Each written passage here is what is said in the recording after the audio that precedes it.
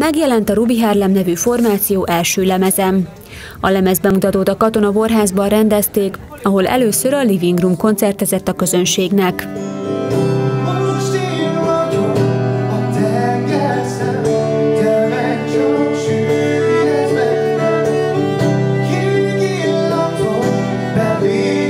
A Living Room nevű formáció 2016 telén alakult, kimondatlanul, tehát akkor kezdtünk el kísérletezni Friedrichus Péter barátommal, a cselló gitárjének együtt hangzásával, és onnantól számítjuk egyébként a, a, a, a zenekar születését. Alternatív popnak szoktuk mondani, de nem, nagyon, nem igazán tudom behatárolni hiszen van benne egy klasszikus hangszer, a cselló, és a, a, talán a dalszövegek is egy kicsit mélyebb mondani való jóak, mint a, a, a megszokott mainstream pop daloknál, ezért ilyen alternatív popnak szoktuk apostrofálni. A jó zene mellé a pincejárat extra keretében budafoki borválogatással, borkorcsolyákkal várták a vendégeket a szervezők. A Living Room után a Ruby Harlem lépett a színpadra.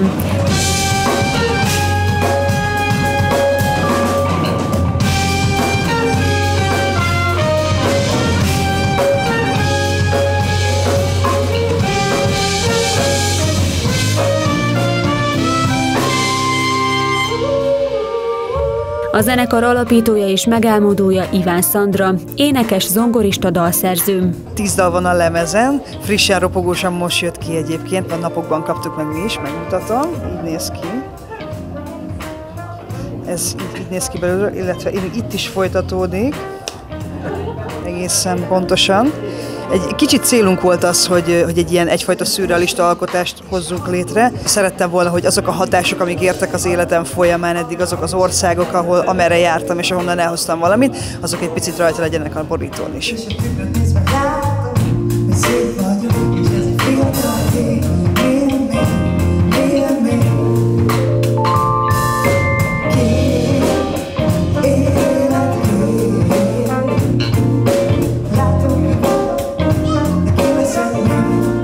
Magyar nyelven íródott dalok vokálcentrikusak, ez színesíti a részfúvósok hangzásvilága, mindez pedig kerekedtséget alkot a ritmus szekcióval.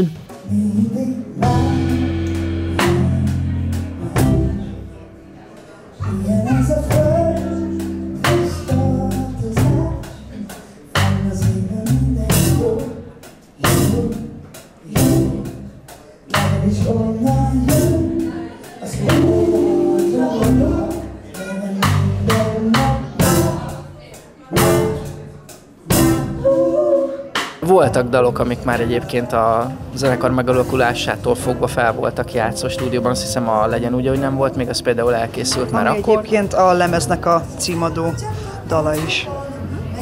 A többi dal egyébként profi stúdióban is fel lett véve, illetve többünknek van home stúdiója, ott is játszottunk fel a lemezre dolgokat, és a Heilig Tomi, aki producere volt a lemeznek, ő is elég komoly utómunkát tett bele, és akkor úgy nyerte el a végleges formáját.